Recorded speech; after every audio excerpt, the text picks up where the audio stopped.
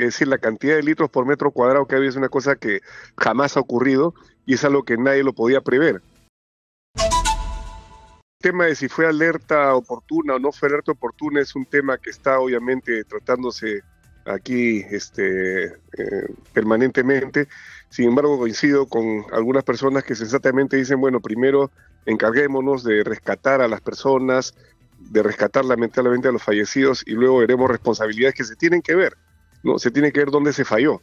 Pero lo cierto es que eh, el común de la gente que habita por esas zonas eh, muchos coinciden en señalar que si bien se esperaba la caída de Dana, porque en algún momento pues, se tuvo la alerta y se tuvieron los eh, indicios del agua que empezaba a correr por las calles, nunca se pensó en la magnitud.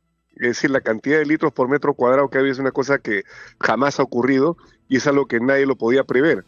Por eso ha ocurrido situaciones de personas que por tratar de sacar a sus vehículos seguramente presumiendo que no iba a haber tales torrentes, terminaron siendo eh, los vehículos trampas mortales para estas personas, ¿no? Esta familia. Se habla de que podrían haber sucumbido en sus vehículos en las playas de estacionamiento subterráneas.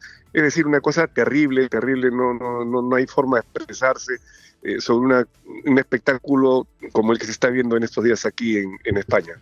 Ahora, eh, ¿cuál es la situación, Lucho, de la comunidad peruana? Hay muchísimos peruanos viviendo en Valencia, nos lo decía el otro día eh, el cónsul peruano en Valencia, ¿no? Sí, José Antonio Torrico está haciendo una gran labor, yo desde aquí lo felicito a él y a todo su equipo en Valencia.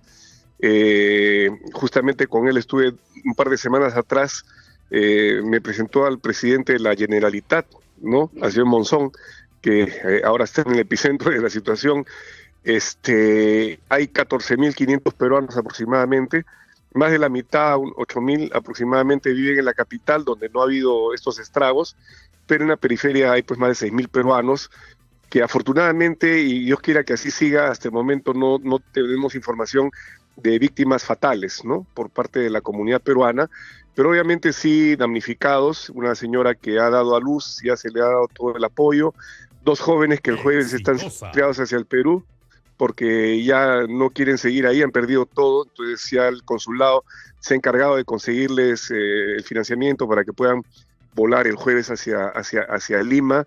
Eh, también me habla el cónsul de un peruano mayor ya tetrapléjico a quien se le ha podido también dar apoyo, pero obviamente eh, esto es una, estamos en lo que se llama la fase del día siguiente, ¿no?